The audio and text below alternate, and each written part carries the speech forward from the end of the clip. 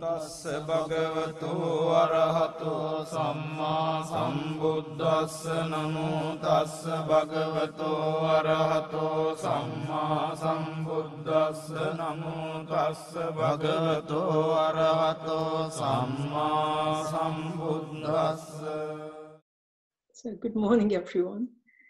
It is a pleasure to have the opportunity to talk with everyone and share Dhamma. So just before beginning, it's lovely to pay respects in our own way for a couple of moments to the Buddha, Dhamma, and Sangha.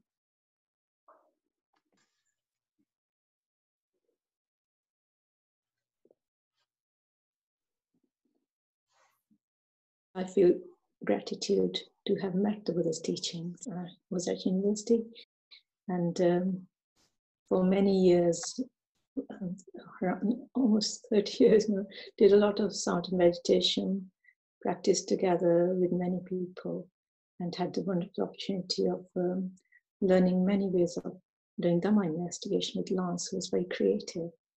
So he gave uh, extremely good skills, not just to meditate, but also to investigate Dhamma, which I have always appreciated and really enjoyed, and studied many texts which normally couldn't have studied on my own. So that's um, quite amazing. So around uh, 30 years ago, when uh, something changed in my life after all these years, um, wonderful practices, um, there was a sort of uh, external circumstances which were changing, and uh, it made me rethink many things. Um, just before that sometime before that we had had a week's course on the paccayas you know conditions the 24 conditions. And it was such a rich teaching and so awesome because it was called the ocean of dhamma. And i really enjoyed that because it sort of showed all the ways and things just come and go. And it has this basic truth about it that we can't grasp any of the conditions. They come and they go. And in discussion with someone thought you know, it can go on in and conditions are always perfect. That's all there is. It's what we do with them. We can't control them, but it's what we do them where our choice is, you know, how we respond. And that's quite, uh, well, was quite awesome as well. Uh, that is really quite a lot of uh, truth in that situation. How do I respond to things? So, this change happening, what do I do? Um, I've been doing many things for years, and you know how to um, find what to do next and look inside. So I thought it'd be nice to see this statue, the one that was presented to Queen Street, and it's really interesting that the posture is the Buddha teaching, the first teaching, where he's showing us with his gesture the four qualities or re- realities which leads towards the noble truth. And uh, that is really the main thing that when I was looking what to do, I thought I'd go and read the first sutta again. I decided to have a fresh look and uh, the aspects and also how the Buddha started coming to that realization and the aspect that struck me was that he he first had a wonderful life, and then it's only when he realized that all those things are in a very deep way um, part of his life too, about growing old and aging and death and all the grief that goes with it, that he sort of turning around to see what to do. And that's uh, really moving in the sense that uh, it's almost like a guide for us what to do. Um, the other thing, around the same time, I was reading these. Uh, um, the, they're very sh- short teachings of uh, by a Thai monk called Achandun Atula. He only says things in a few sentences, and I love this quote, which was connected to exactly again the same um, things as the Buddha is saying in his uh, gestures. And on the quote, you can see that uh, he says, The mind sent outside is the origination of suffering. The result of the mind sent outside is suffering. The mind, seeing the mind, is the path. The result of the mind, seeing the mind, is the cessation of suffering. It is said that he, that's how he lived, this was his one moment of how to do Four Noble Truths moment to moment. And that has a very strong instruction for me in it that what I need to do is same thing as the Buddha did by turning around to look inside, not continue to look outside for a solution, but look somewhere inside. Reading this sutta again and again, the main thing is the Buddha says, really comprehend dukkha, really get to know it and say, how do you know it? Okay, at that time, there was quite a lot of the first arrow kind of dukkha, you know, the pain and things that come and the basic ground shifts in uh, in somebody's life. So I was experiencing quite a lot of pain like that, and how to deal with things in a new way. Um, and then there's another sutta where the Buddha says about the second arrow that we can have uh, dukkha. Everybody has dukkha because that's part of life. That's pain, difficulty, physical or emotional. It's what we do with it. Again, you know, what we do with the conditions. Dukkha exists. How do we do with it? We can either shut it out as if nothing happened, or we can make more of it. And that's the second arrow, you know, have grief, lamentations, of, um, sorrow, despair, and continuous sadness, and so on. Or we have a choice to duck out of it somehow. and that choice is obviously the most attractive one because no use shutting it out. It's a reality, it happened. And no use going on and making it more either. And that's almost like a middle way as well, not going to one extreme or the other, uh, which is also part of the Buddha's first teaching. So it meant to duck out of this second arrow coming to us, had to do something different, had to uh, learn how to where the target was coming from and what to do. It's almost where the cause of it is and what I should do. So I hadn't realized those things too much by then, but those thoughts were going on, not having done anything about it. And then also I was searching and looking for various ways, as I said, and discussing with uh, many good friends, including bhikkhus. The one bhikkhu who was just leaving um, to go away, on the way, I was just saying, you know, if this all is happening in life, what do you think I should do? And he says, Usha, now is the time to put those realities of noble truth into your life and live with it and practice living it. You know? Uh, how do I?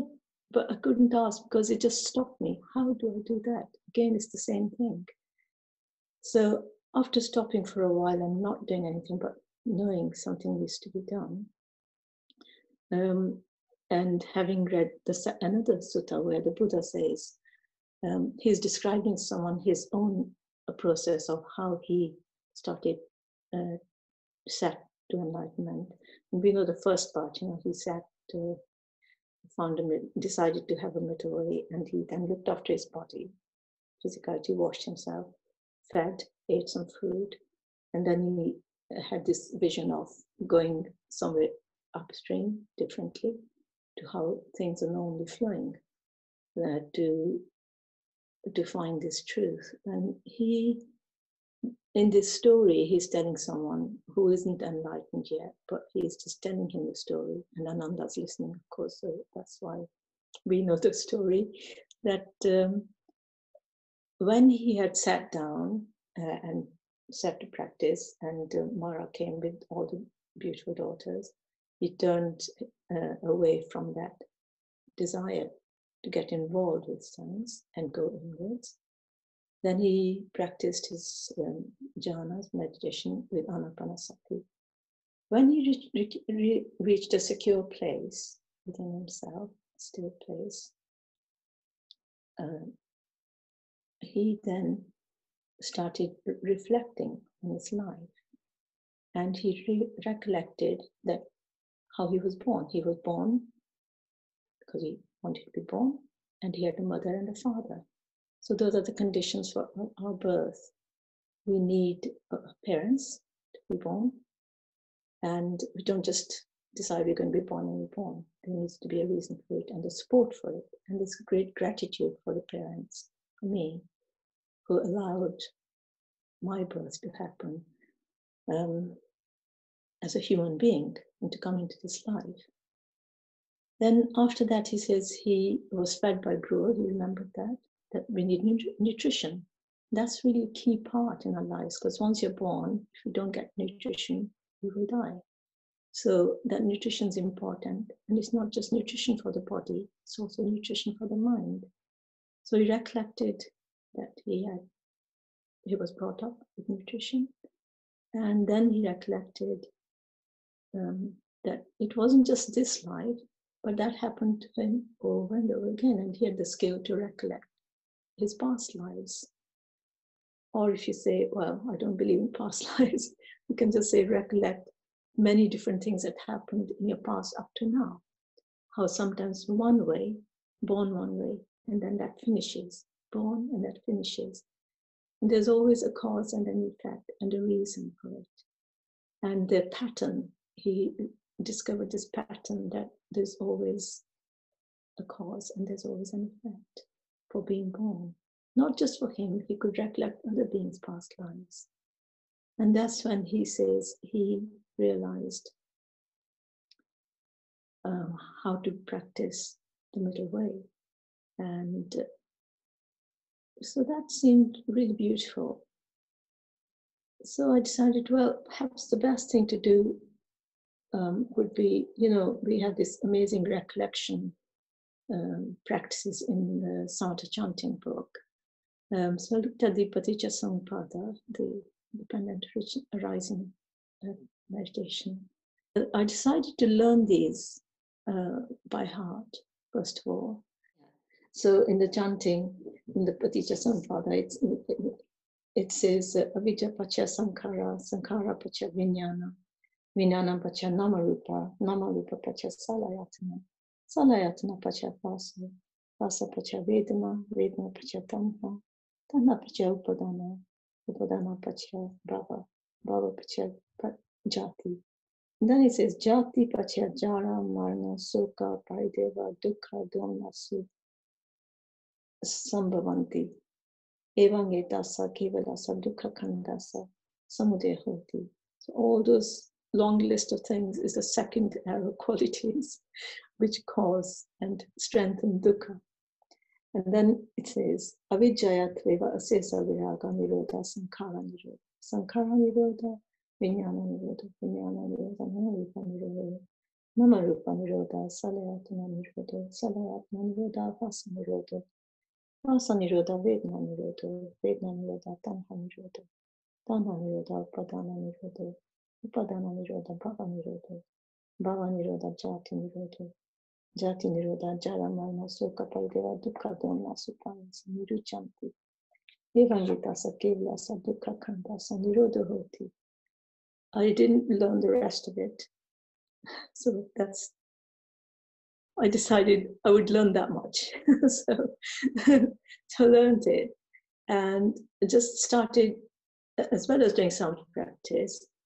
doing this as a meditation practice because it says recollection. So I thought it meant that I keep saying it to myself to understand its meaning, to understand its flow, to get to know what is what is saying to me.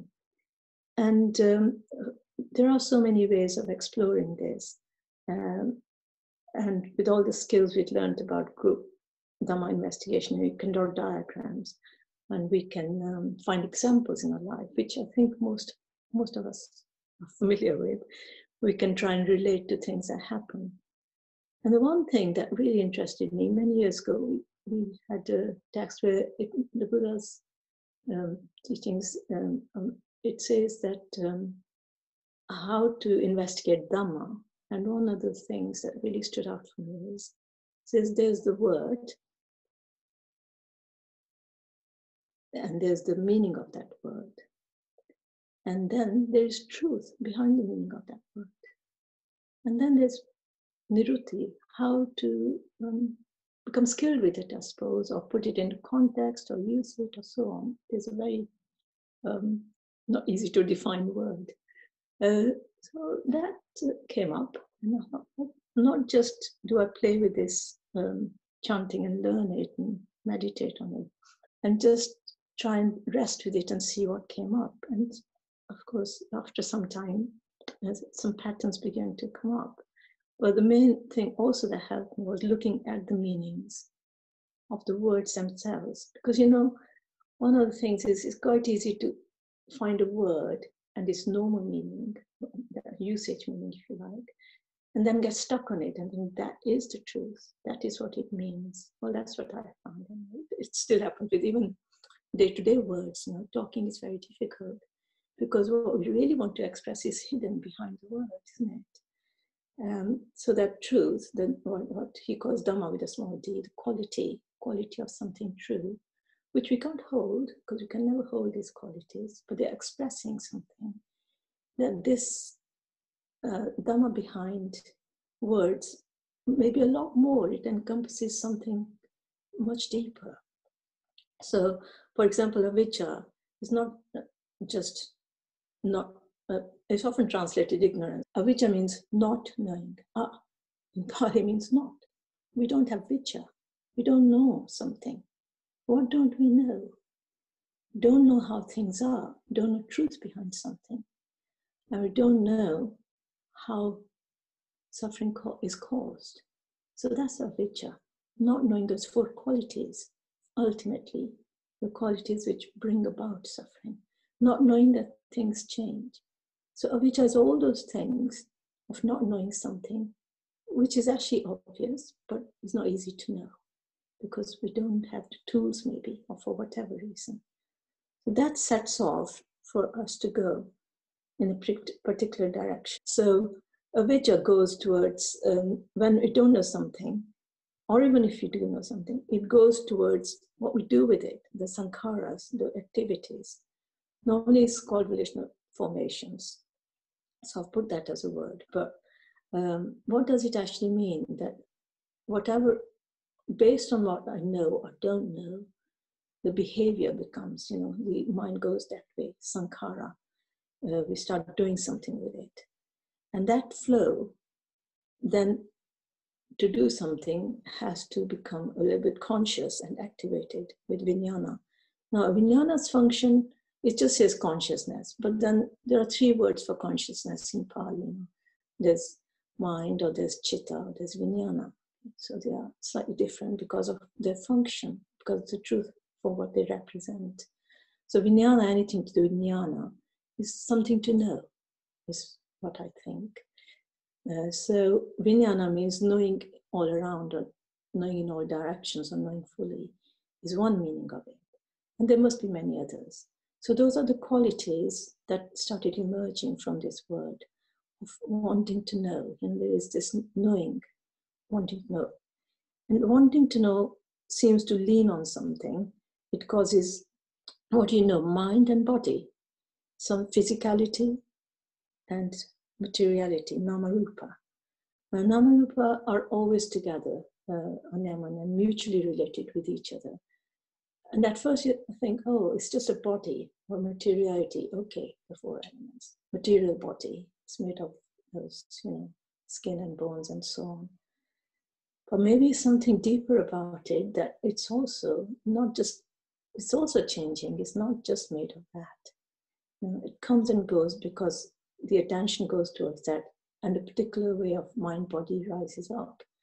So if the sankhara, the volitional activity is to do something skillful, for example, the sort of mind that the consciousness that will, will seek that and the mind body gets activated because it's there the qualities of mind, uh, there are four on there. There's Rasa Vedana and So uh, it has um, quality of experiencing or sensing something and perceiving Vedana and Sanya. Now those two qualities are quite powerful because they sort of stand out from the others. We either sense or feel something uh, and experience it to respond, or um, there's a quality of um, uh, labeling something. Now, at this point, they haven't become active, they are all potentials.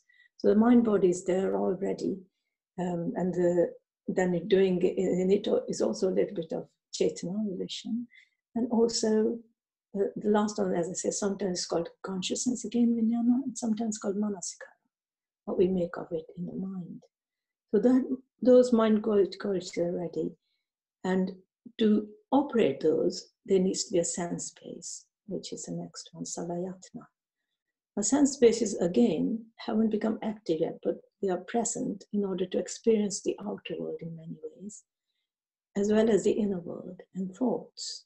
So there are six senses, not five. The five are for sensory things, and the mental one for mind faculty for mental things. And of course, any of the senses are only sensing, they don't know. In order to know, it has also still to go through the mind. And then, then the next one is where the activity might begin. So their function is to contact something, to be open to contact. They meet the uh, um, contact, so the eye, when there's light, contacts light and responds. When there's sound, the ear responds. When there's taste, the tongue responds and when there's touch, the body responds. Uh, when there's something touching, uh, uh, then when there is um, a scent or smell, the nose responds. When there's a thought or a decision, there's the mind. So they're already in their potentials. And when contact happens, we have a choice to respond or not respond.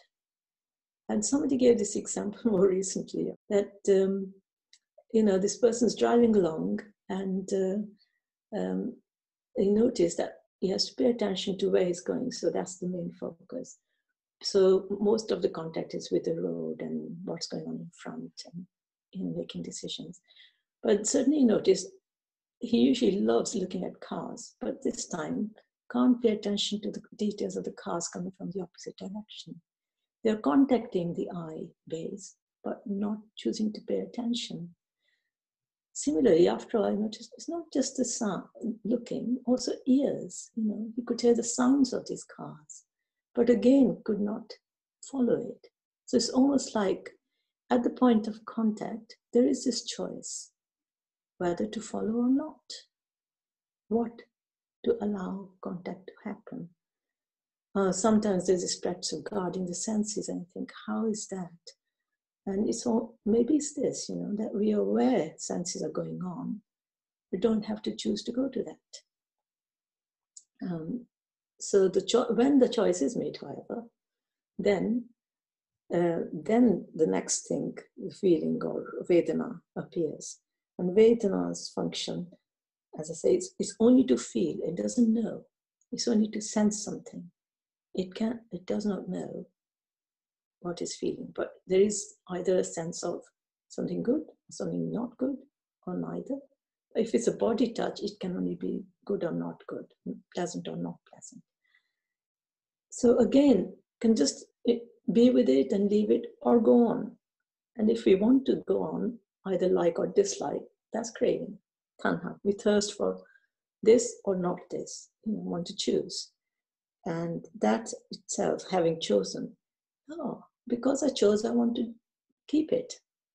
And upadana means uh, we take it up and want to keep on uh, having that, whatever I enjoyed or did not enjoy, I want to keep on having that situation. So upadana's function seems to be that it wants to um, keep gathering, keep heaping up. And uh, keeping, uh, heaping up um, then brings about uh, something else, that it becomes a habit. It becomes nabhava. And when it becomes, we then become a particular way. And that's birth. The birth of that habit becomes stronger. But then something may hit us, and then there's dukkha. Or when things are in the same way, that birth begins to disappear. The way of habit is not useful anymore, or it ceases. And then there is this uh, difficulty, not knowing what to do. There's confusion, there's more suffering. And again, if you don't realize the truth about that, why is there suffering? It goes on to avijja again. On the little writing, it says, under dukkha, it says, jara marana soka parideva dukkha dumna supayasa, as in the chanting or recollection, which means decay, dying, tribulation, grief, sorrow, any kind of disease, distress, and despair. So that's all the qualities of the second arrow.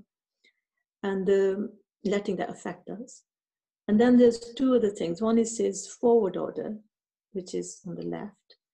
And that is when it's going round in the cyclic order, in the clockwise direction, then it is a sporting condition for. So when one thing arises, as I've just explained, then then it can, it can, and that's very important, go on to the next thing. And then it can on the next thing, and so on. So if this is, then that becomes.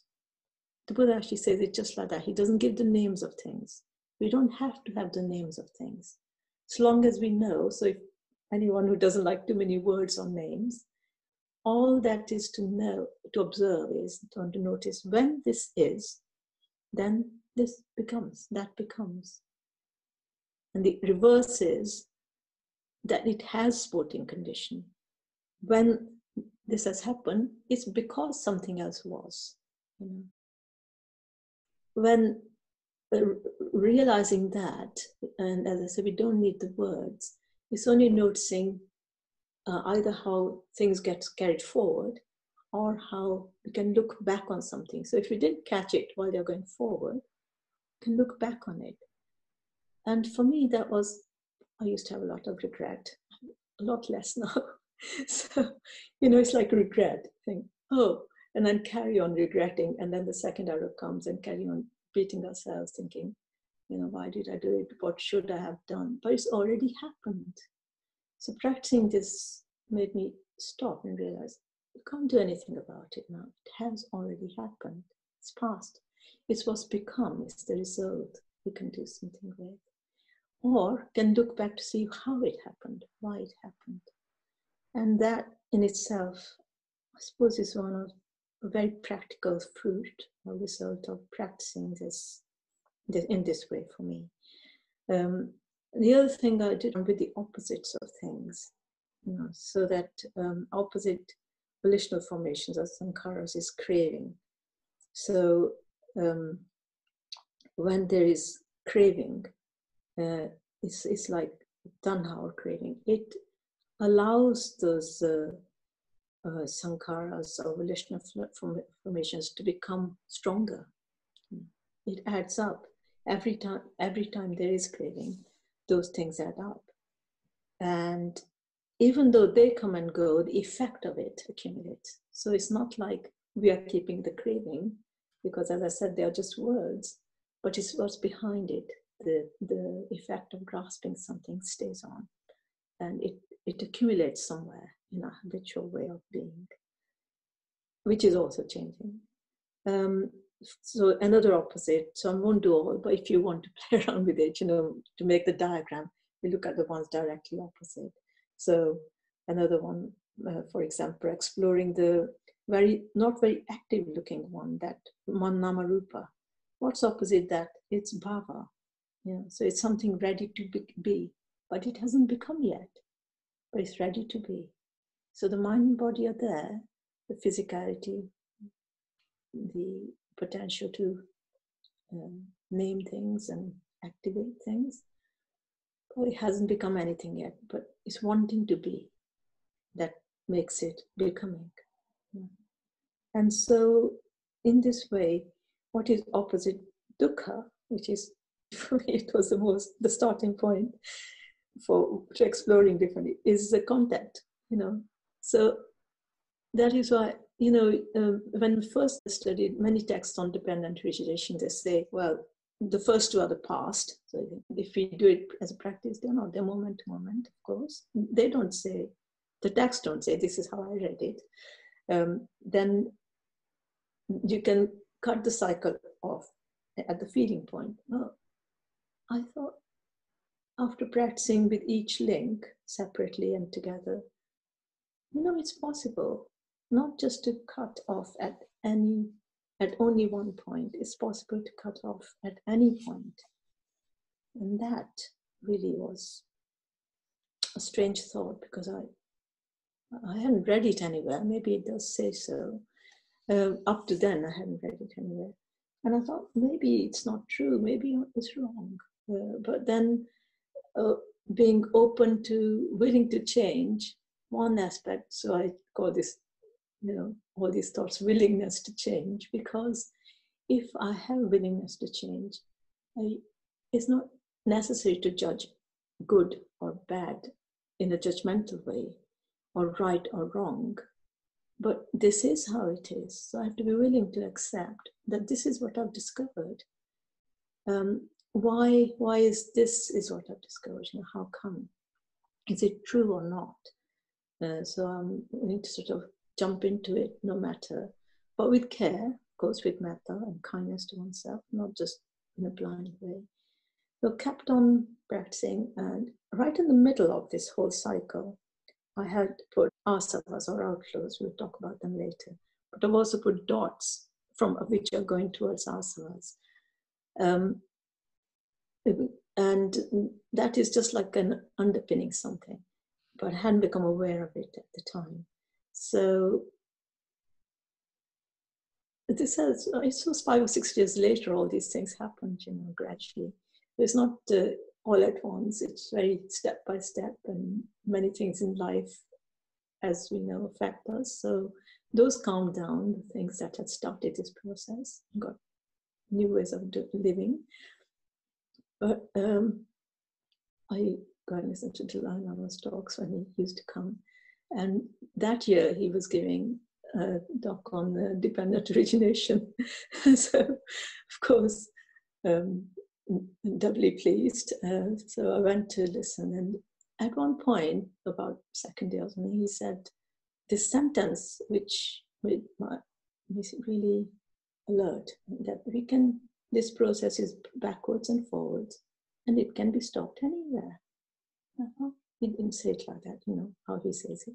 And I thought, oh, that thought was okay, you know. It's like um, that's the point of having a good friends, a Kalyanamita Asra, the friendship, listening to something from someone who has somebody's good in their heart. Uh, so that uh, that must be true, you know, that we can stop it. And why not? Because if something is flowing and we stop its effect, it will stop flowing. But if something is flowing, we notice it, then, you know, um, but we don't allow the effect to continue backwards, then that will also um, give no, no more power to the flow of it. So in it was very interesting on the uh, on the diagram for the um, explaining about this talk, I had put uh, cause and effect, and between them I had put a little symbol which goes uh, like an infinite infinity knot backwards and forwards. But effect, the knot is opened. So at that moment, the image was that this cause and effect can become like that backwards, forwards, backwards, forwards, backwards, forwards, go to each other. And they can strengthen each other like an eight figure round. But if it's possible to undo either side, it can open. And that's a relief because it's true that no matter what, where we're at, we can choose not to go that way. Or if we've gone that way, we can choose how not to do that again. Not that I've been able to do it with everything, but it was relief to know. Um, and just as uh, sometimes I'm recollecting Dhamma, it says, Ehi Ehipasiko opanaiko pachatang vedita hiti. Like we see it in your experience as, as it is ehipasiko. And once seeing, it leads on, opanaiko, pachatang vedita, and so on. So a few days later, almost like having this something opened, um, there was an in- invitation for listening to a Dhamma talk. In um, the Sri Lanka monastery. And there was this forest monk from Sri Lanka, Manipaputta And some the, somebody was translating for me because it was in Sinhalese. Uh, and uh, he was talking about how to practice cause and effect and cessation in daily life. That's brilliant. It's amazing.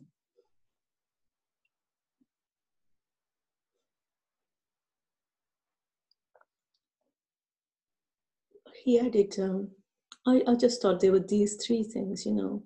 In, when we studied with last, there was another book in which, and also the sutras actually, the Buddha says, what I remembered before I listened to this talk, that there's um, three ways of practicing or list, investigating Dhamma, apart from looking at the words, that we listen to Dhamma and get some kind of jnana, sutami jnana.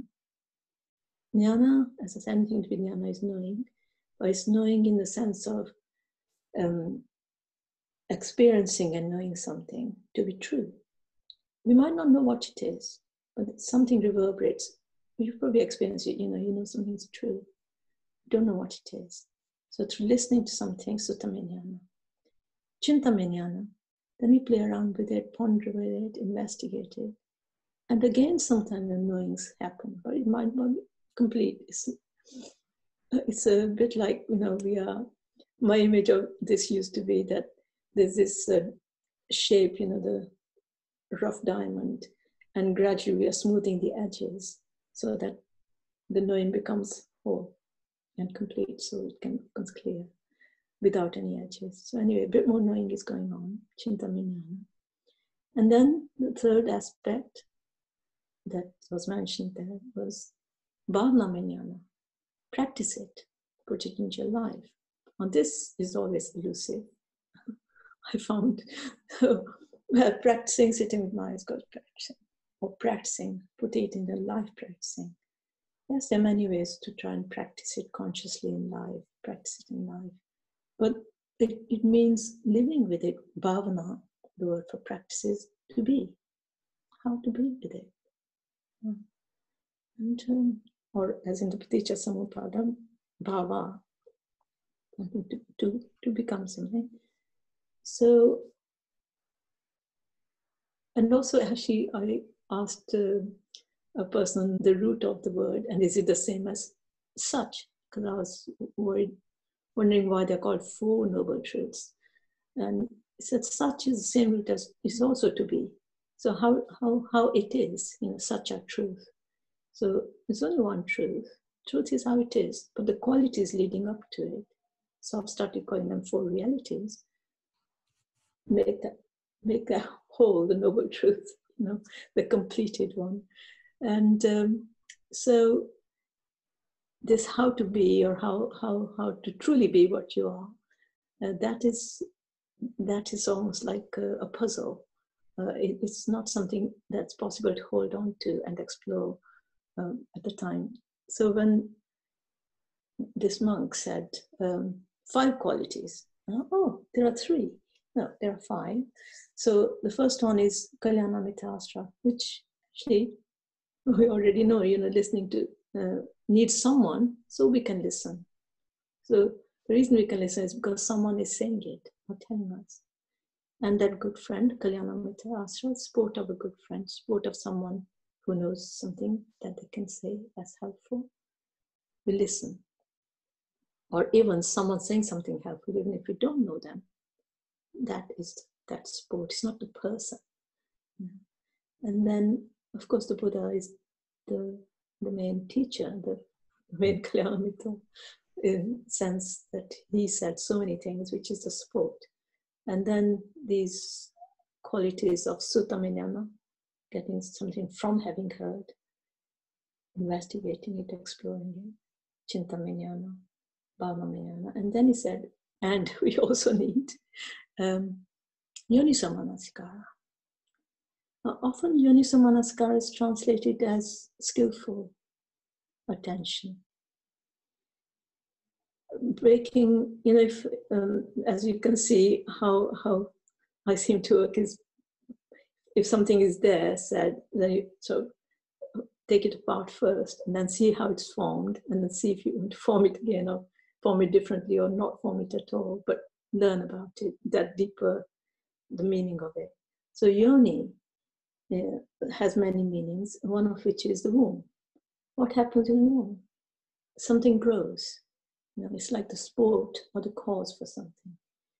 And manasikara is often translated as attention, which is what it is. But how we attend, mana, how we make kara is do something of it in my mind. How I make of something in my mind from knowing where it came from. That's quite a lot, isn't it? That's what I thought.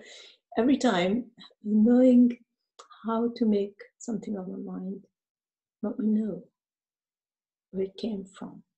So almost always being keeping in the back of the mind this aspect of yoniso manasikara as a tool. Um, after a while, I listened to another teaching, uh, same uh, practicing the forest monasteries as well in Sri Lanka.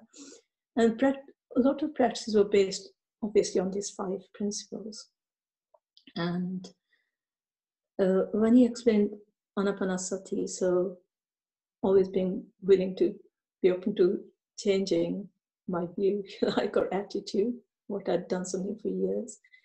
Uh, he was explaining, he of course talked Sinhalese and Pali. I could understand a bit of Pali, but uh, not Sinhala. Um, and there was people trying to interpret to their best. But, but uh, this attitude of exploring um, the meanings of the words says good support. Uh, so listening to that Anapanasati Sutta, he said the you know the first two sentences are about the verb is different. It says pajanati, see? and the other one is all practice. And then he explained what pajanati means, how to practice pajanati. Um, pajanati uh, can have many um, practice aspects. So just that first two stages of the 16 stages of anapanasati. Uh, so there's in breath, there's out breath. We know that. But in breath happens. The first one, he, he said this in another sutta, but I'm putting them together that um, and reflecting, and also what the Buddha reflected. Remember that he was born um, that um, before I'm born, this this came to me recently. This little tiny as an experience that you know, lying there for nine months It's a long time, um, not experiencing anything and just waiting and being in the suspended state. And then birth, how complicated it is to be born. anyway, this was a recent experience. But uh, when we're born, uh, the first thing that baby we did when we were baby um, is breathe out Yeah, you know because it was the last breath of the mother who was supporting the growth up to that point. and the mother's last breath finishes and it's sort of dying you know breathe out that and there's often a cry of the baby as the lungs open then the first breath goes in so really, breathing in means life. Know, start a new life.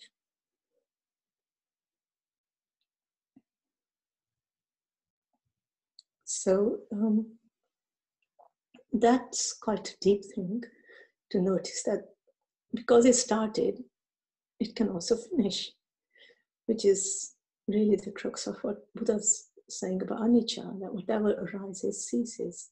So in that sentence is a great depth for me. And um, when the breath goes in, it finishes as well. It comes to an end. And then a new breath goes out. No, it's not just breath going in, out, in, out. Every, probably everybody knows that. But it's noticing that it actually finishes and then it goes out, new one. And the breath isn't the breath, not one breath. Then noticing what Vipajanati, that this breathing is actually really four qualities, those Mahabhutas, which are changing and coming and going, you know, rising, ceasing. It's not a fixed oxygen bit going in or breath going in. Um, it's something continuously moving that's going, and then different continuously moving stuff coming out. Um, and these are four qualities of Mahabhutas. Again, what that meaning of that uh, rupa is in the cycle of dependent origination. That the ultimate rupa, the most subtle rupa, the truth behind that word, if you like, are these four qualities. You know these four qualities, you know, Pathvi, Apo, Tejo, Vayu, earth, water, fire, air. It's not just that. It's the quality of solidity, the truth of something being a little bit solid, immediately not staying but changing to some kind of fluidity, some kind of heat or cold energy, or some kind of um, cohesion or not, some kind of movement. Um, so these qualities of cohesion, movement, flow, energy are playing with each other all the time within each breath. And when they enter the body, now this is something interesting. Um, it says they, uh, the breath is going in and there's blood flowing in our body, which carries nutrition from the food we've eaten. And the food we've eaten has a potential for energy. And this breath goes in, contacts that, and heat and energy are released. Um, so heat is that element of Tejo, warmth or cold, and energy is called Shakti, which has different quality. So the heat that's released gets carried towards the heart, where the hot, warm, and cold blood meet. You know, the venous and arterial blood, if you like. And uh, when something meets, it causes vayu movement. And these vayus go and look after different functions in the body. As six, I won't enumerate them, it'll get quite long. But these functions are also mentioned again with what we did as work many years ago. These six winds, they're called there. And they're functions of looking after the body and helping digestion and repairing things in the body, letting go of stuff that's not needed, uh, you know, the movements in the body and life, the heat and cold. And then also stuff that's not needed then gets carried towards the lungs and the out breath happens with entirely different from the in breath in many ways because its function is different to get rid of stuff that's not needed. So this whole practice, and then a new fresh in breath happens. So this this is all the meaning of that word pajanati. So this is almost like the aspect of chintamaya jnana. You know, we understand or know something through reflecting and exploring it. Um, and the, that aspect seems really deep and I think to myself, how am I supposed to do this in breath and notice all those things? So he said, when you sit to practice, forget all that because the jnana or knowing of it will, have, will be effective. It will have an effect. We don't need to carry all that as well, like an extra burden, you know, the thoughts connected with it. Because Chintamananas a lot of them are thoughts, aren't they? Movements going on, thinking, pondering, so on. We don't need to carry them. We can just leave them, the baggage. But they were helpful, they were very useful, and now we leave it. The jnana from there is there. We don't have to even carry that and just sit and practice. Um, the final aspect, which I'll share, uh, was um, Digha and Rassa. So the first are about Digha and the next one Rassa. So Digha can mean long, but then his ex- example is you're going up a hill and you're taking these Digha breaths. And so sometimes the breaths are short, but they are deep. Ah, Digha can mean also, you know, deep. So I think, well, Digha maybe it means effortful, you know, making more energy, needs requires more energy. Rassa is when you're relaxing with soft breath, little effort, happy, and so on. Yeah. Ah, okay.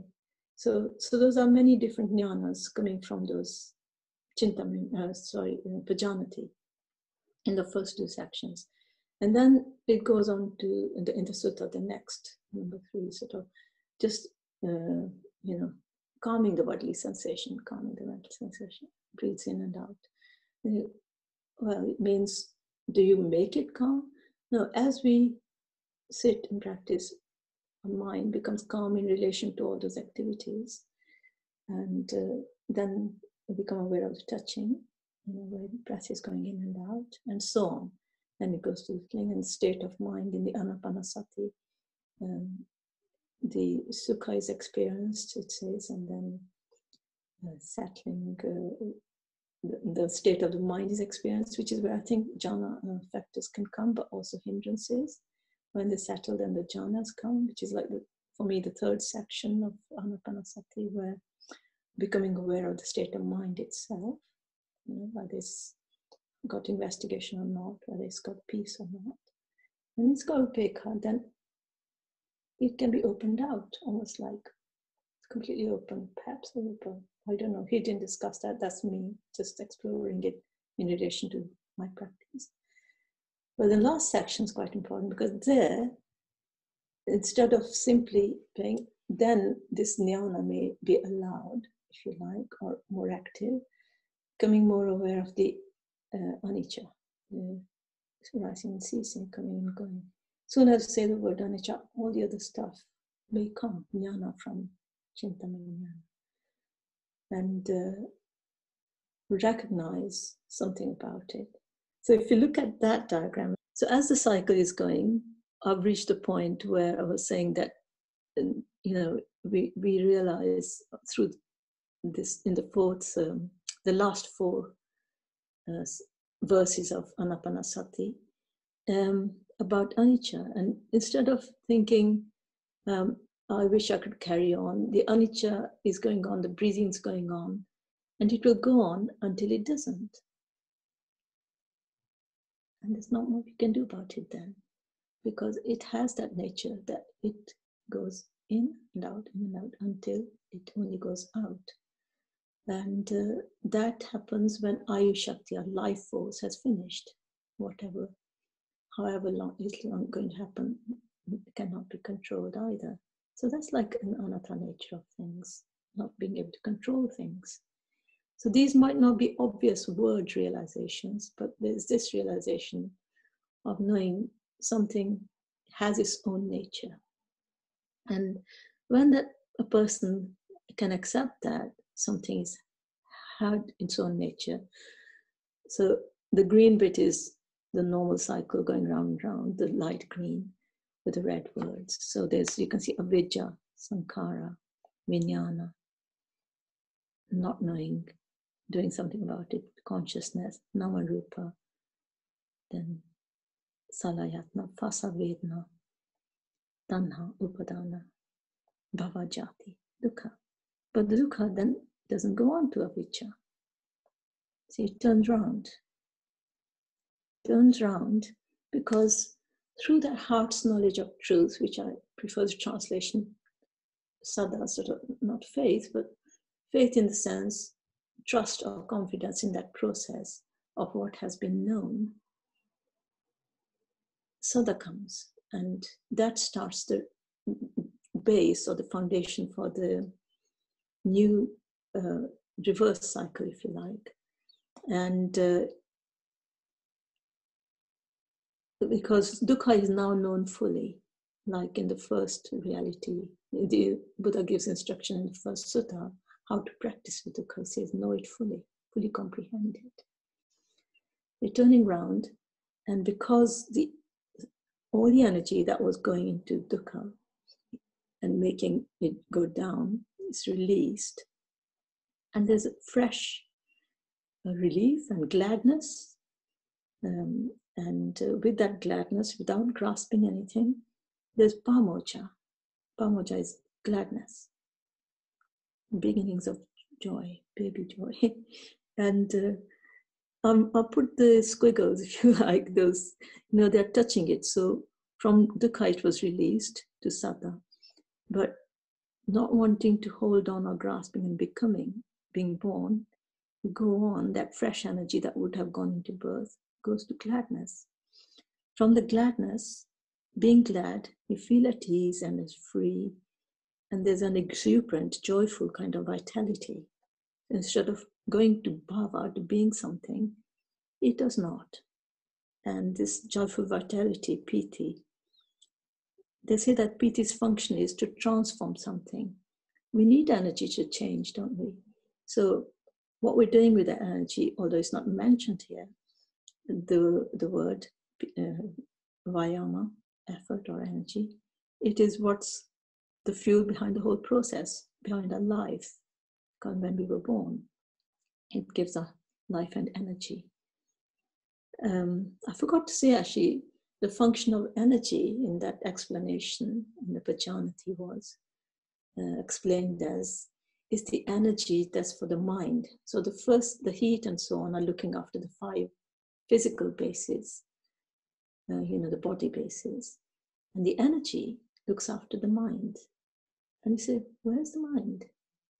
Um, it's not in the brain, it's not in the heart. That's what the Buddha said uh, when he was asked. He didn't say that, but he didn't say it's in the mind, the brain, he didn't say it's in the heart. When the Buddha said, mind is wherever your attention goes. And he said, now think of where you were born. Well, the moment you think of it, it's there. The mind has already gone there quicker than the speed of um, lightning. So that Shakti, the energy from each breath, supports the life of mind as well. So at that point, the energization, we're talking about the energy that came from everywhere. This Shakti is working with the transformational effect in Piti. And uh, Piti transforms to become not anything in particular, not for heaping up any things, upadana, um, and not for not heaping up either, because it doesn't just give up and just goes into joyfulness, but it changes and tranquil in a balanced way with the help of tranquility or passaddhi. So passaddhi doesn't want to heap up, it just wants to allow the energy to be balanced and do its function. And there's a serenity because there's no pull or push involved in heaping up anything. When there's no pull or push involved, it can be content. There's no thirst, no tanha. And the thirst is, has been satisfied. And there is contentment or happiness, which is quality of sukha. And uh, when there's contentment and happiness, it's possible to not be pulled or pushed by any of the Vedanas, the feelings. So there's a unification based on upekkha, the finest sort of a balanced equipoise kind of feeling or sense, sense of balance.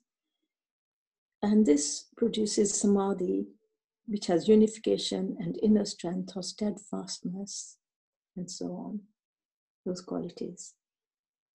Up to here, the cycles for me seems very different because we've again reached that point of phassa, the contacting the world, which is opposite dukkha.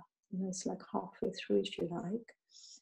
Because if you notice, to get to know dukkha, the quality of Dhamma Vichaya, investigation of Dhamma, was quite necessary and working, how to play with Dhamma, Chintamanyana, and also Sati, how to pay attention and what to, Sati's function is to keep in touch with what we're doing as well as amongst other things. In um, you know, when uh, King Milinda's questions, uh, King Milinda asks Nagasena to give a simile for sati. He says, "You see that earth, earthen ball floating on the river, on the water.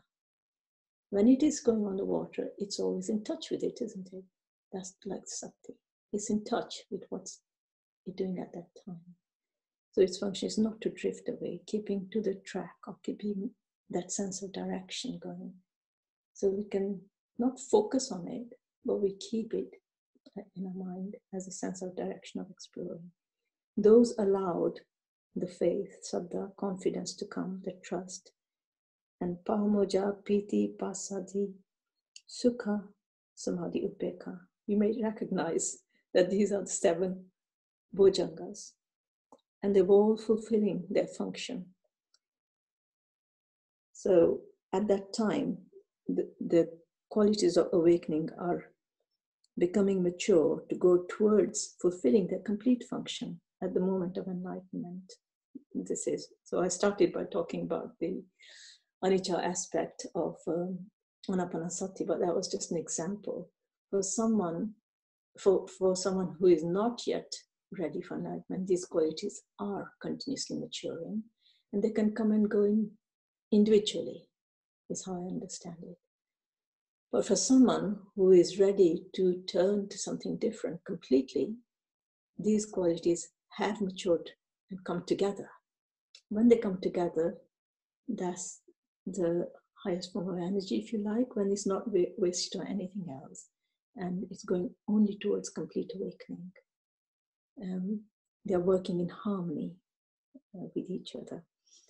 So the samadhi is quite unshakable and firm because also the faculties faith, energy, mindfulness, confidence, mindfulness, wisdom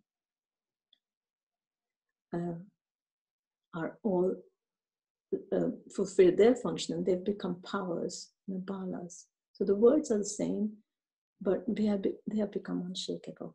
So everything is quite firm and ready. And in that readiness, there's readiness to be different. How? It's almost like the vision is going to change because the Buddha says, Chaku Udapadi, Jnana Udapadi.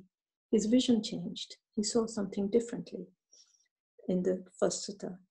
And in this transcendental cycle, you can see Jnana Dasana.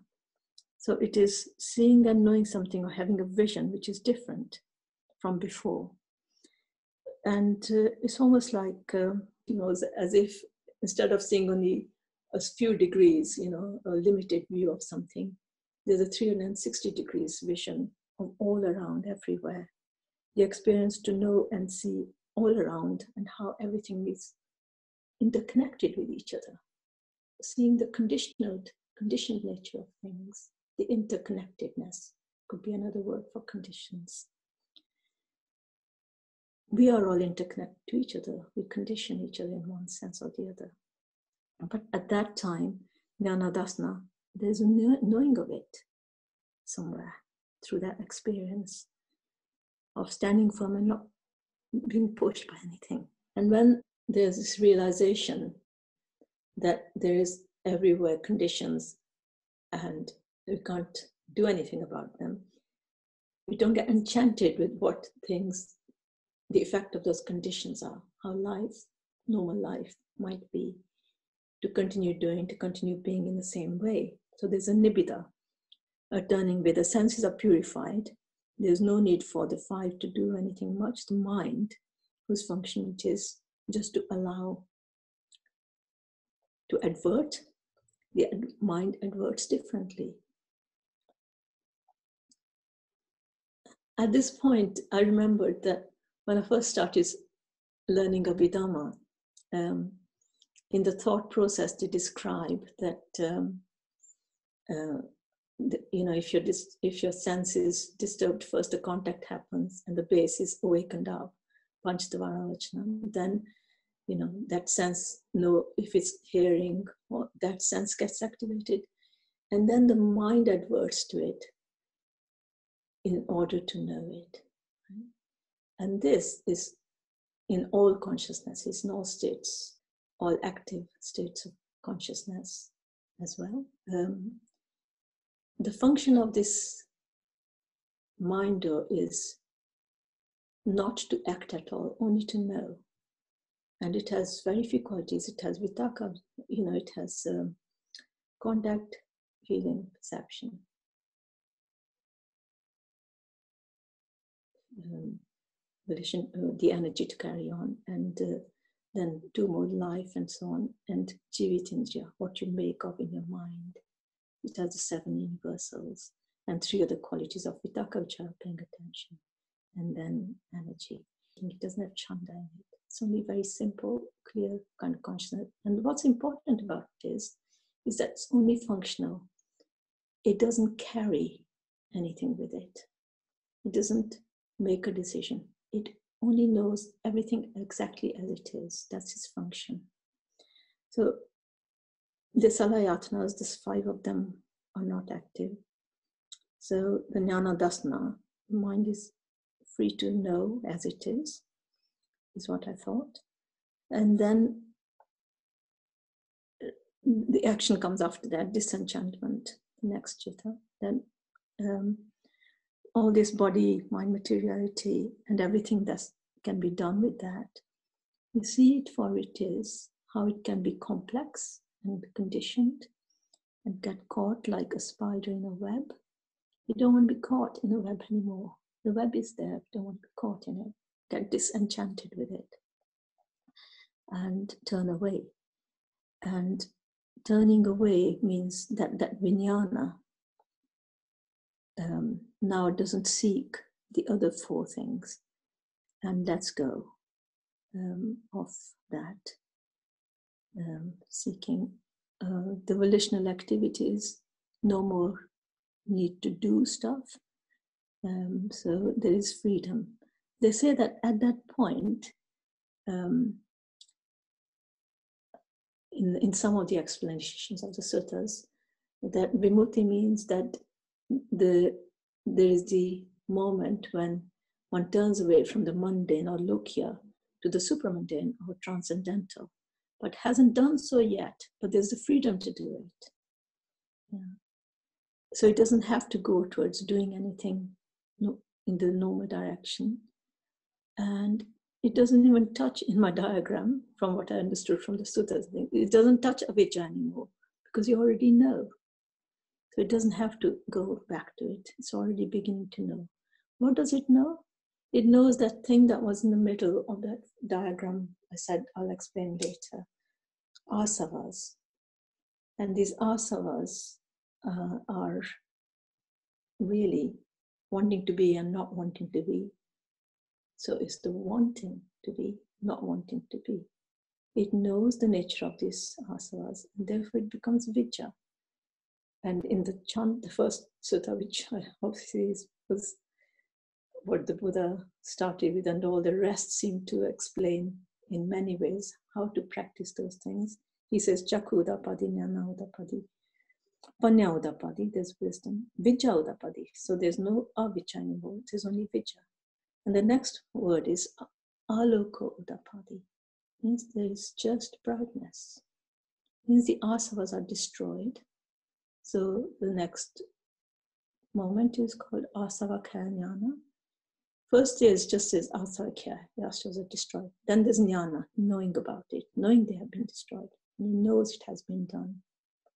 So that's that's quite a lot.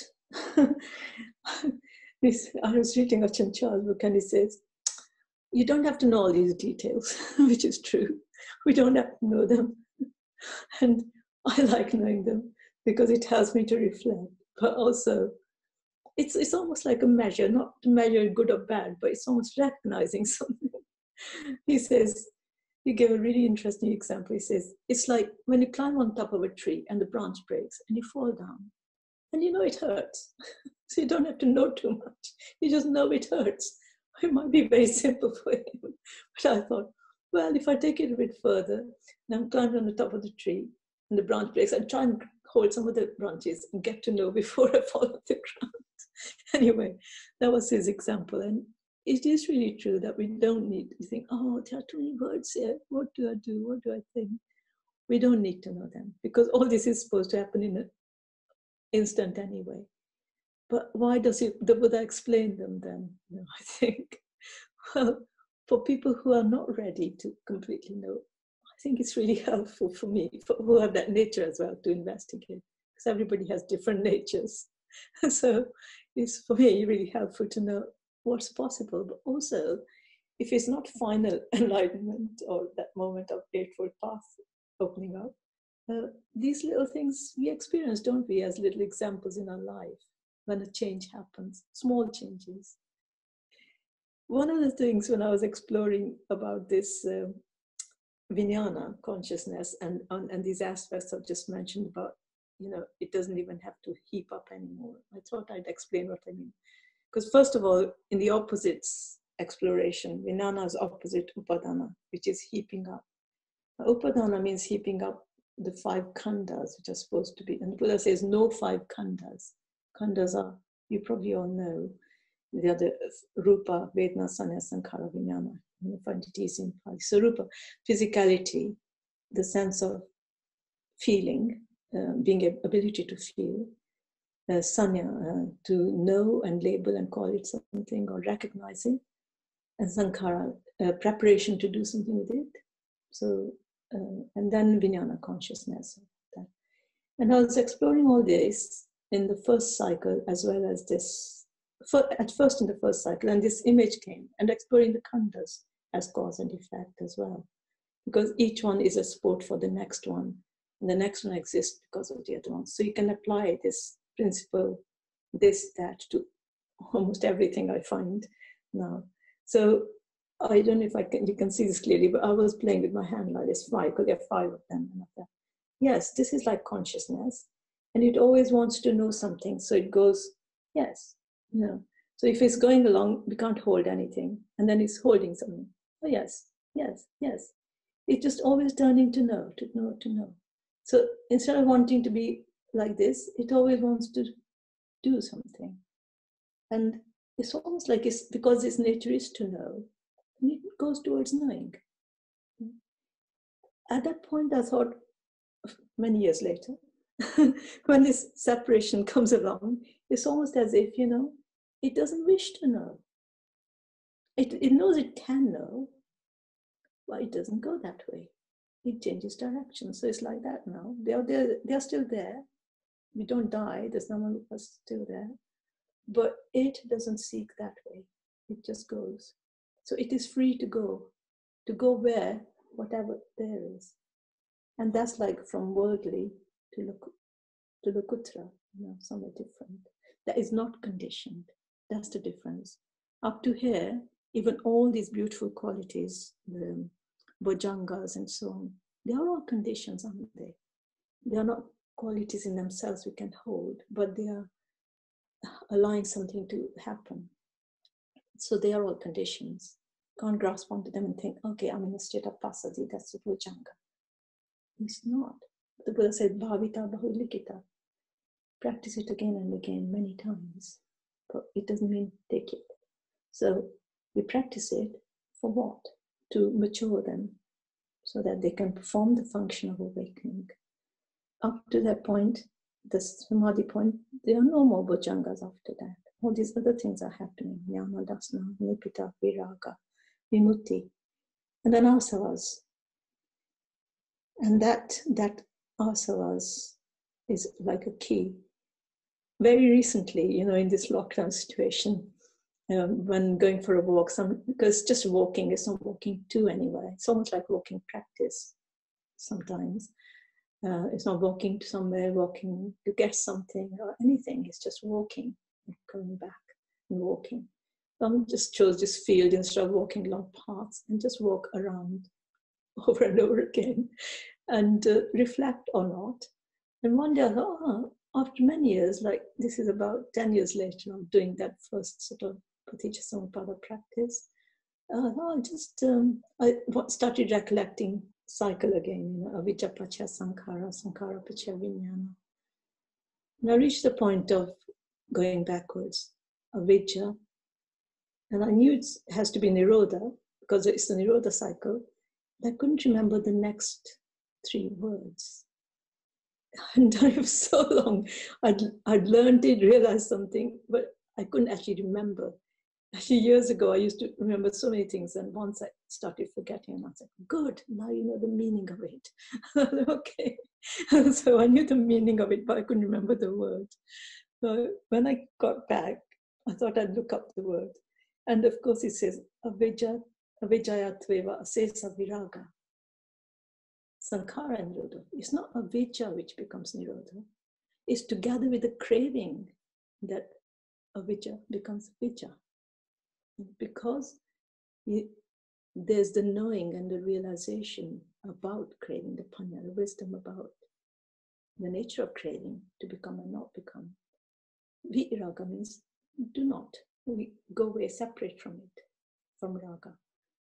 Ah, it's just so beautiful, isn't it? Because it means we just didn't know, and what the deepest thing didn't know is is the is the how we are holding on that counts towards a lot of what happens next. And sometimes people, uh, many texts say, "Oh, you just have to learn to let go." Now, how do you let go? That's always the question: How? How do I let go? So, you know, at, first I used to think, okay, you can only let go if you hold on. So if I want to let go of these classes, I have to hold them first and then let go. But that's not letting what it means either, because it doesn't, that's an extreme. You drop it and they might break. So it doesn't mean hold tight. It doesn't mean let go to drop it. It means have this willingness to change how I'm holding it. It's the how of it, you know. So not holding it with raga, but just holding it without that raga. So it doesn't mean at enlightenment everything just dissolves. It's just how we hold with the grasping, with the volitions and the sankharas that drop away and the heaping up because we hold. Hold to keep. So it's not hold to keep, it's just letting it because we know it's the holding that causes the it's how we hold, sorry, that causes the suffering. But we can't live with nothing. So we have something, we touch it, we don't have to hold it.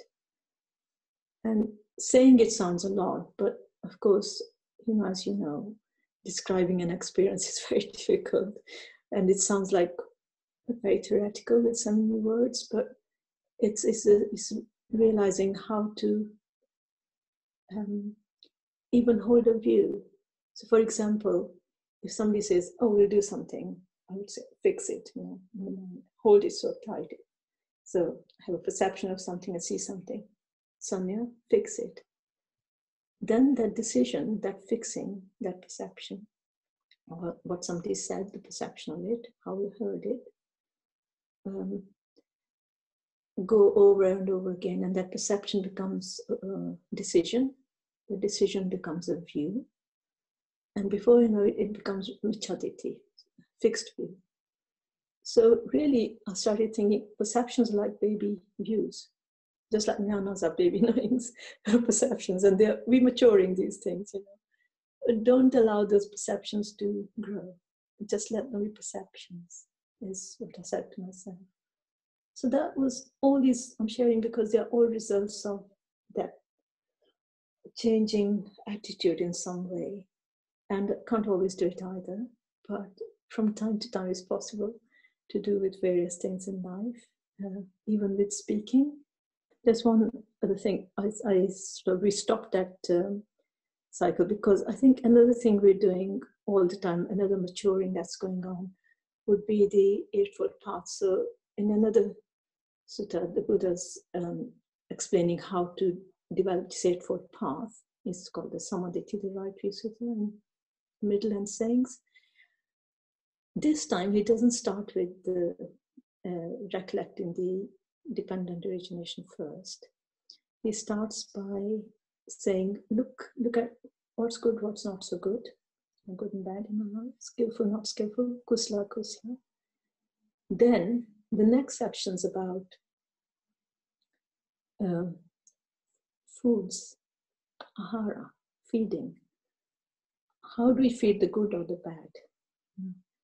And that reminds me of this uh, another really good recollections in the book about the boy's questions. Uh, it's called um, this young boy was asked 10 questions because at a very young age she's enlightened and everybody didn't find it possible to believe. So he was asked 10 very simple questions What is one? What is two? What is three? He says, What is one? One is all beings subsist by nutrient, ahara. That means we all need nutrition. And remember the Buddha's story that he recollected he needed nutrition. So in the sutta, obviously, that's what comes next. That that's needed. It's not just body nutrition. because the four, there are four foods, if you look at the Aharas in detail. There's the physical food, there's contacts, there's mano sancetana, mind, volitional activity, and vijnana consciousness. So again, there are these aspects of um, the physical food and a very subtle physicality, which is this food for the senses, you know, how we feed our senses, eye, ear, nose, tongue, body, and mind. How do we feed them? What do we allow ourselves to get involved with? What senses, facets, contexts do I allow to come in and follow and not follow? So the nutrition is very important for that physical and mental nutrition. Then the next one is how do we feed contacts? I already described the example, you know, we can choose what we choose to contact because that produces those two khandhas of Vedana and Sanya. If we experience that contact either through feeling or through recognizing. So those two qualities are there.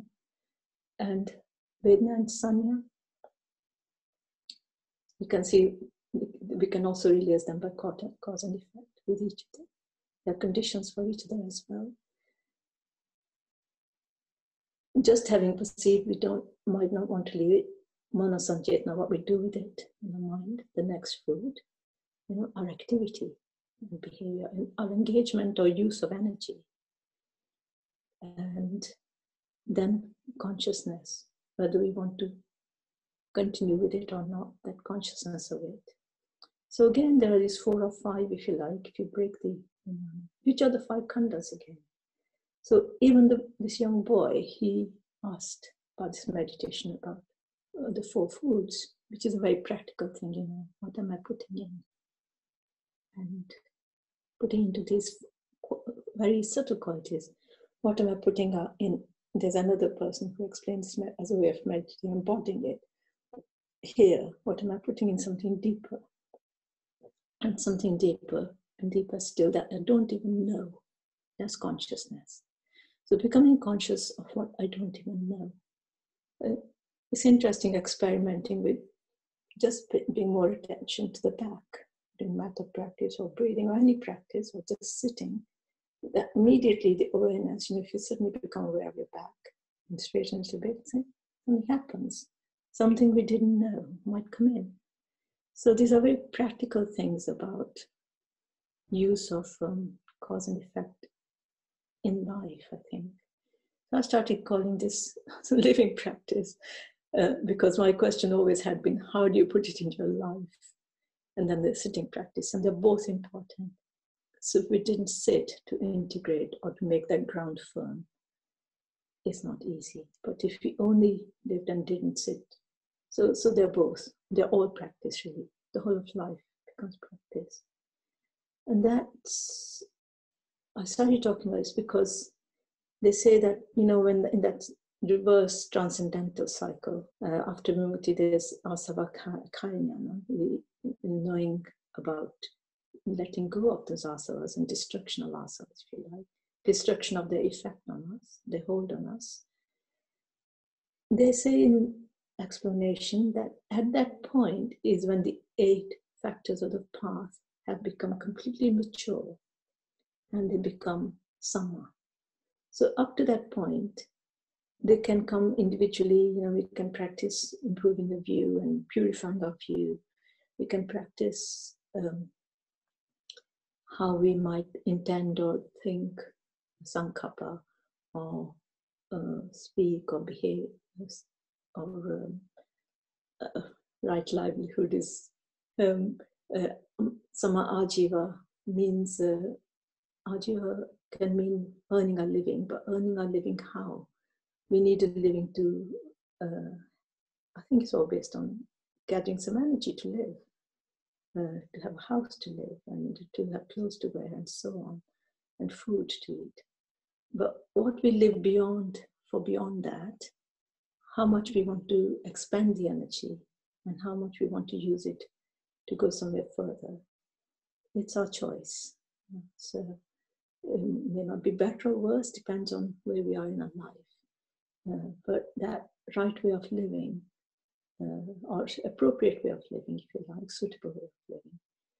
Uh, in those moments of um, developing, they are coming singly. You know, you can focus on looking at one or investigating a second one, like in the precepts and so on, is the middle three, um, also the speech and action. But really, behind the speech and action is a mind, isn't it? So that's why they're called ten courses of karma, because behind anything we might say or do, there needs to be a decision to do or say. And how we make it is mind. So that's mind body again. So that that decision allows purification of those those three qualities of speaking, doing, and living. And then we've already said the sati, mindfulness, and so on. So those are gradually getting stronger, and maybe they can come two or three at a time together. But when the asavas are destroyed, they all become mature fully somehow, and they all come together when they're mature because there's no inequality in them now. So they can all work harmoniously together to go towards stream entry. So at that, that's not end of, of Lokuttara, it's like the phase in between between Vimutti and destruction of ourselves, so that it's possible to cross the stream, to go towards Nibbana, which obviously there's no experience with. But what's necessary, I suppose, for me is to know that what I'm doing right now these little steps for each of these factors is gathering up to do something different. And that in itself is how it's possible to um, continue with practicing. Uh, it has a result and it goes towards a result. Uh, even though it may not fully get that result, uh, it's maturing towards it brings more peace and more ease, uh, less inner chatter, and so on. Uh, and I'm sure you've all got your own experiences of um, how your practice has helped you. So maybe um, we can um, share any experiences or thoughts or things you want clarifying or discussing. It's not something that whole cycle need to know it. I think the principle is the important thing, which you can take away that always to have that tool of looking how I'm making of something in mind in relation to where it came from. Yonisamanasikara. And having good friends to share with and check out with. It seems such a complicated subject. We are really trying to uh, dissect something which is not there. We ourselves, there is no self. We are creating ourselves. It's so complicated to me. We are trying to understand birth, existence, rebirth. We are going round and round in circles. We don't find an answer. Anapanasati is another thing um, which is I don't I haven't understood even though I'm trying to practice it. And there, when he said about the nutrition and all these things and giving the energy, it seems at that stage, the energy is the thing that is creating mind. And it's the mind that is causing all the complications in the cycle of existence and trying to get out as well of life situation. So this is this is my confusion. Really, I don't think there is any answer to it. I, I don't know whether anybody can do it except Buddha. yeah. I, I don't think Vasantra mind is creating it. Mind just is. Ajahn Chah says that when mind is bright, oh, Buddha said, when we're born, there's Prabhasra Chitta, the mind is bright. And then it gets clouded over. Ajahn Chah says, mind is just resting there peacefully. And then, you know, when we begin to take it out, and like Ajahn Dune's that quotation, when we begin to send it out to do stuff in various ways with an intention, with wanting to heap something, that's the conditions when it, it gets conditioned. And we are conditioning the mind by the way we send it out, is how I understand it. Not mind is not the problem because we couldn't live without it. It's necessary. Also, anatta doesn't mean no self to me. It means not wanting to have control over stuff. You know, we need a self to do this practice. We need to look after this body and mind. The Buddha said, I was born, I was fed with nutrition, you know, food, and so on, because we need it. So it's not actually not wanting it, it's looking after it, nourishing it. For what? Nourishing it to give us the energy to do this work, if that's what we've chosen to do as well as live. Because living is part of work. We can't experience the unconditioned without knowing conditioned. I think that's the whole beauty to me of this cycle of dependent arising. In order to know how to be free, we have to know how we are caught. So the conditioned world is our teacher, you know, the forward cycle or dependent arising is why I am the way I am. To know it and to explore it is how the atta, the self, might be growing stronger because upadana, the khandhas, those how um, um, I'm, I'm heaping up things make the khandhas stronger. we are born, when we are born, it says in the suttas, we don't have five khandhas, we have five upadana khandhas. What we have grasped is where we are at. So it doesn't mean born, just baby birth. Right now, when I'm born in this moment, all I heaped up before is part of my ground for being how I am right now. And those, what I've grasped, will make me how I am right now. So it's stopping grasping that the khandhas are, are just purified to live and to do what's necessary, but not by what I want to bring about. And I think that, through understanding the anicca and dukkha, is the only starting point. Not try to understand anatta. It's not an understanding, I think. I think it's realizing that holding on to do some way is what atta is being fed on.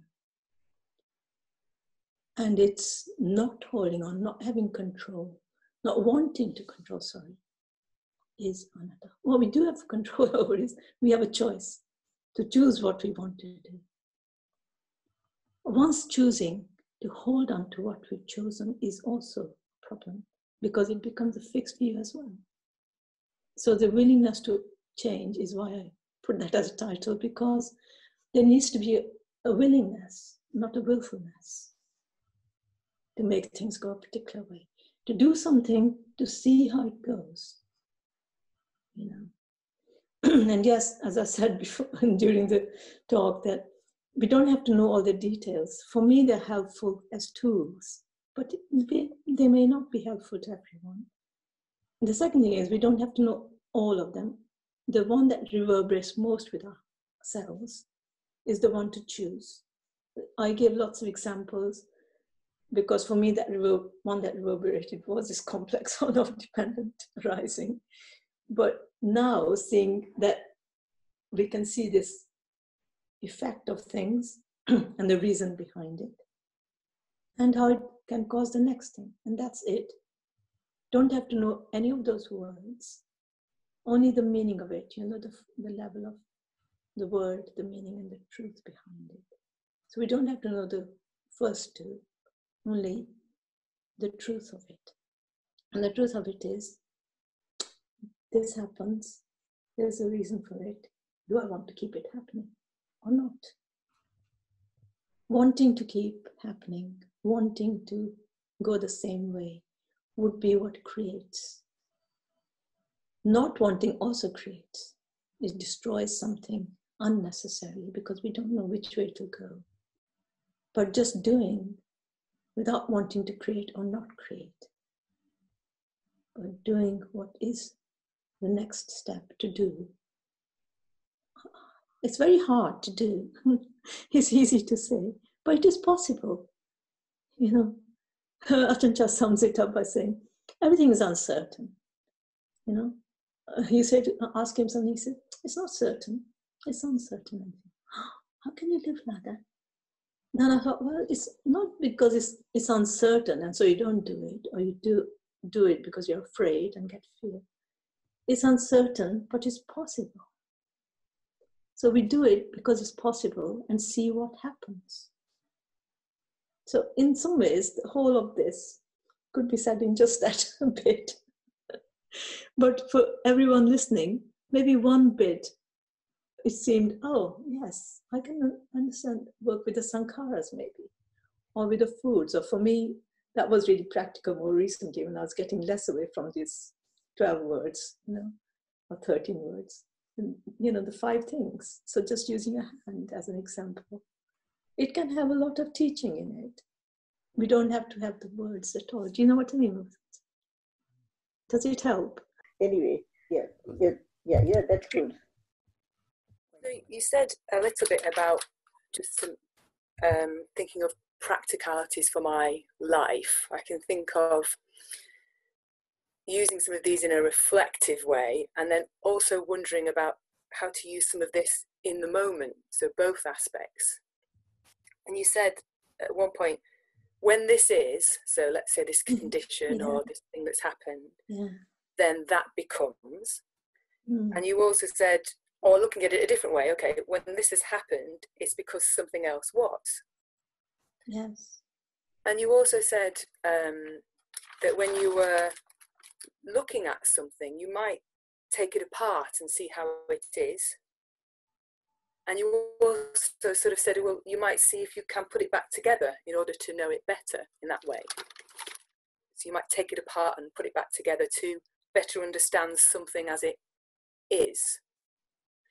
Um, and so I seem to find it easier to imagine the taking apart or the knowing that this has happened because something else was. I seem to find that easier than mm. the, mm. well, this is so, then this will become. Or I, I'm wondering about how to, for example, know in the moment how to act and also how to reflect on those things later. So I suppose in the moment I'm thinking more of like Hiri you know, trying to rein me in, you yes. know. Um, whereas I suppose that's not quite what you're saying in terms of if you wanted to look at perhaps a repeated behaviour you have that you want to work with. How, how could you make more recommendations? What you said is, in fact, you know, those in said in another sutta, the things start with kusala and akusala, which are hiri and ottappa, really. Because in um, Samyutta when there's explanation of how to develop the path, the first sentence is looking after the guardians of our world, hiri and ottappa. Uh, uh, conscience, which means having a conscience, and knowing there will be consequences of how I be. Those are guardians of the world. Which world? This this world, inner world, this world that human I am, the human being, and in some ways that's similar. If if I look at this lens of cause and effect, you know, because there's this knowing or understanding, you have a conscience, because if we if we don't if I don't behave according to what I know to be the best way at the time, then the conscience won't let. It's like a guide from something true, isn't it? And uh, the fear of consequences or is often translated that you know knowing the knowing karma in a way, knowing consequences of things. Um, then that uh, is almost like knowing the first sentence you said about this is how it is, it can be. In fact, it's, it's summed up by the Buddha like that. It wasn't me saying it. I said, it is a Pali sentence which I won't repeat, but when this is, then that is, you know, this, it's simultaneous really, but in order to see it, we separate. So when I would take it apart, we take it apart with no. We don't have to put it together though. I didn't don't think I said that, but maybe we can use it by putting it together, but we don't have to. Once I know something, we can't unknow. We know it. Uh, I've known it by knowing this and that happen and how they are related. So that's how to put them together. You know, how they affect each other. And the next sentence, the reverse order, says, and in fact, when the Buddha's practicing this for the first time, he doesn't start with avijja. If you read the sutta, he starts with the last one, where we're at the decay. Because right now, he notices things are changing. Every moment I'm growing older, there's decay and death present in each breath. Why is there decay and death? He says. Oh, because I was born. Why was I born? Wanted to be. Why wanted to be? Huh? Because of heaping up upadana. Why? Because there was a thirst for something. Because of how I felt. Because there was contact with something. Because there was the six sense spaces were there to do that contact with. And there's the mind and body which base for that. And because there's consciousness. One Buddha, Vipassana Buddha, didn't go further back, he just turned around from there. So consciousness turns around in itself, and he realized it straight away. The forward cycle, if you like, how it happens after coming to birth and death. But this Buddha, and so this Buddha tells the story of that other Buddha. So this Buddha, he, um, the Buddha we more aware of, um, then why is consciousness? Because there was this evolution activities in the past and it wants to find a root somewhere to know more because it don't know yet. Then it turns around from avijja. You know?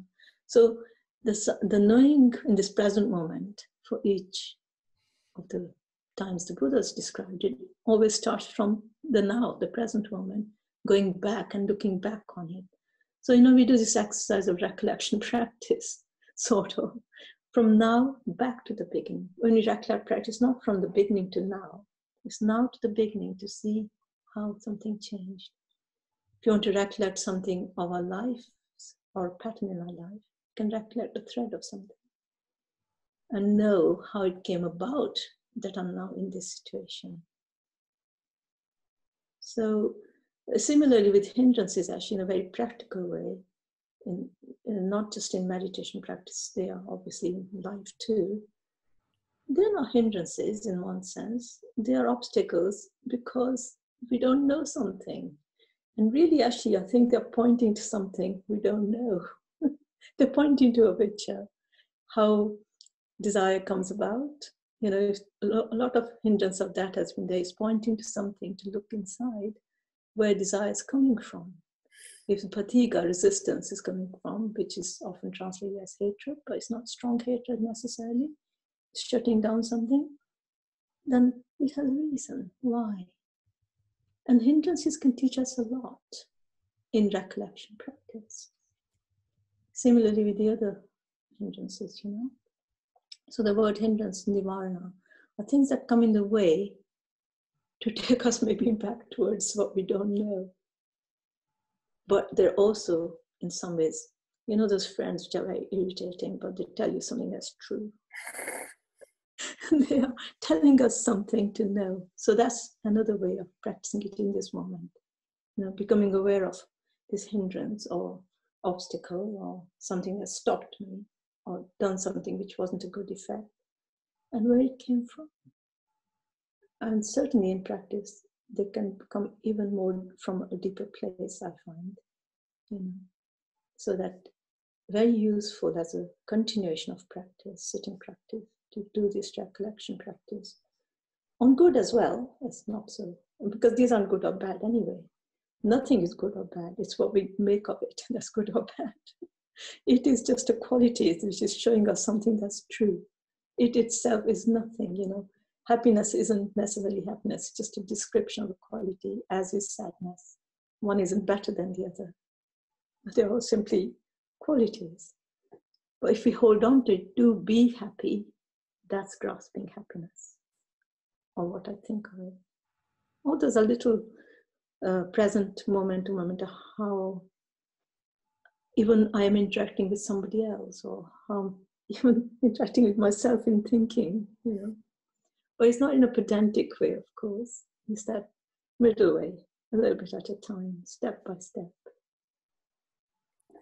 That's how I understand it.